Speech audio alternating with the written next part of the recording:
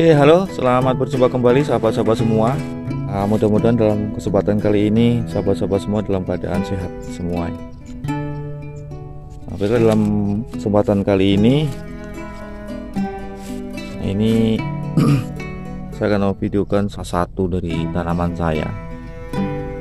Ini adalah hasil sambung sisip sambung sisip iprik dengan kimang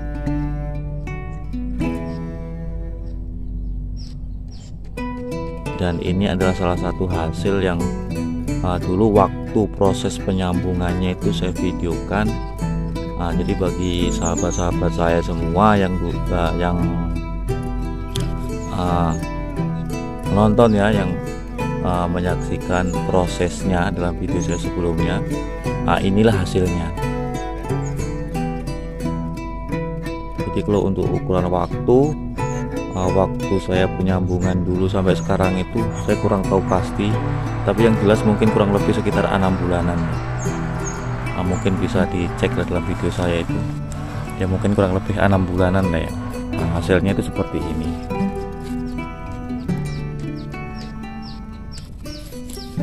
Cuman ini ada kendala ya ada kendala.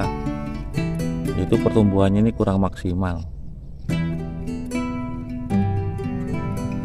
karena ini saya punya tiga tiga batang ya tiga batang.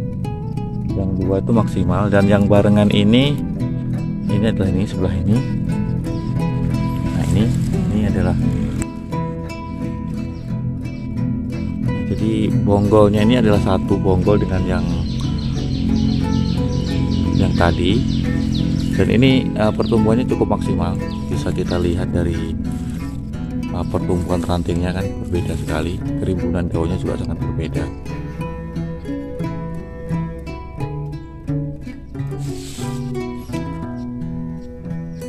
Jadi uh, mengapa kok ini saya saya sebut tidak maksimal?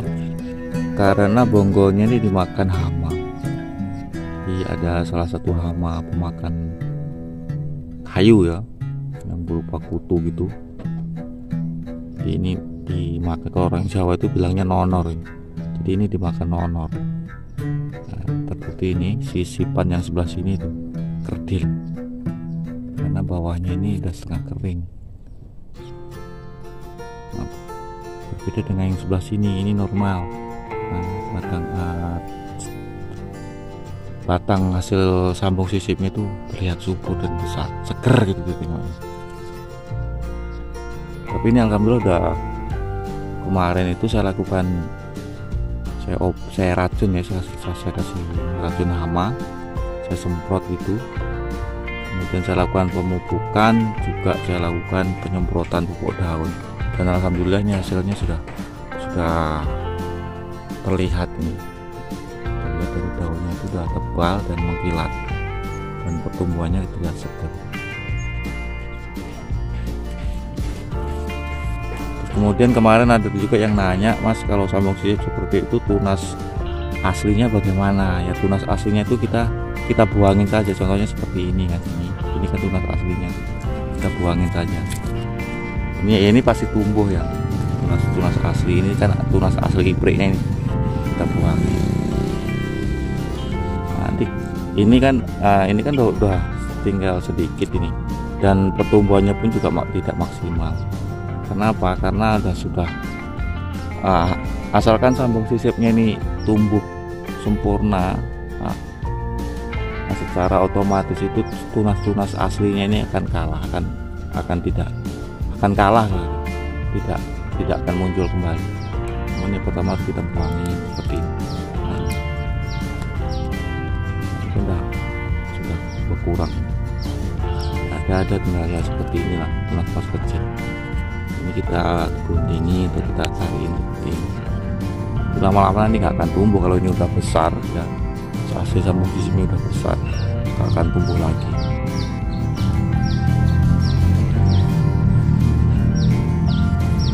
Dan yang ini memang karakter gonggol ibretnya emang angker banget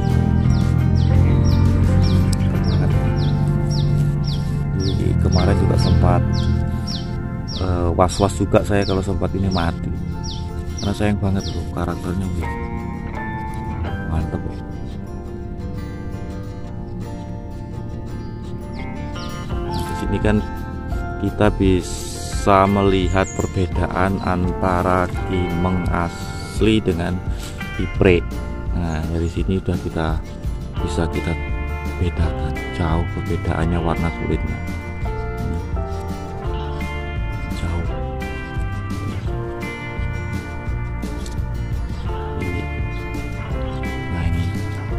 kalau kimeng itu coklatnya lebih coklat terang. Kalau iprik itu coklatnya coklat gelap. Jadi sangat mudah dibedakan mana nanti uh, apa iprik sambungan atau sam hasil sambung eh, kimeng hasil sambung sisip atau dengan kimeng ori atau kimeng yang asli tanpa sambungan di bonggolnya itu bisa kita lihat. Sangat-sangat berbeda sekali. Kemudian kita lihat lagi yang sat yang satunya lagi nih. Nah ini. Kan dari jauh saja sudah jelas perbedaannya. Antara kulit kimeng dengan kulit iprik kalau ini kalau yang bagi yang udah pakarnya ya udah paham kan tapi bagi teman-teman yang uh, belum paham. Nah, seperti ini kan sangat berbeda sekali sangat kontras. Kalau kimeng ini kalau yang tua itu tetap tetap terang ya warnanya. Memang uh, kalau tua itu warnanya lebih putih. Tapi kalau iprik ini cenderung ke coklat tua atau hitam-hitaman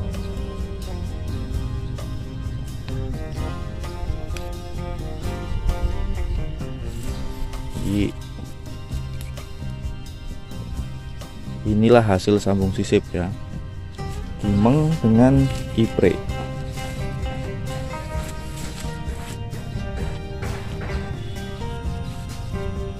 nah ini ini pertumbuhannya kan terlambat ini yang dua ini karena apa ya? Karena ya ini di bawahnya ini dimakan hama.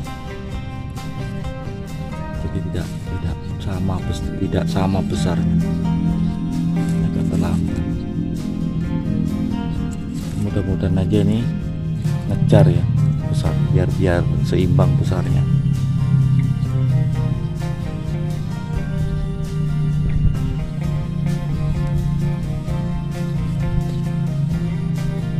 seperti ini loh contoh hamanya nah ini.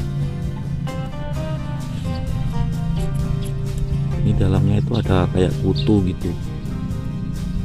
Jadi ini kering ini dalamnya ini. Ya biasanya ini kalau jenis tikus walaupun udah kering seperti ini asalkan subur itu bisa nutup kembali. Ini mudah-mudahan saja ini bisa pertumbuhannya bisa subur kemudian yang kering dalamnya itu bisa tertutup kembali.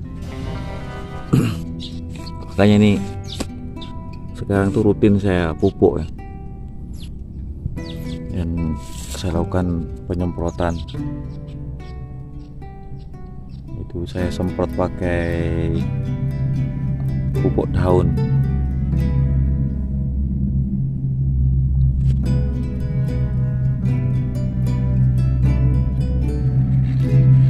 jadi baiklah uh, sahabatku semua mungkin sampai di sini dulu percobaan kita kali ini. Jadi inilah hasil review uh, hasil dari sambung sisip kimeng dengan iprik ya. Seperti ini hasilnya uh, dan mudah-mudahan menginspirasi.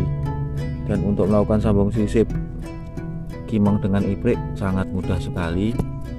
Kemudian iprik juga sangat mudah kita dapatkan ini adalah satu, salah satu cara untuk membuat bonsai dengan cepat.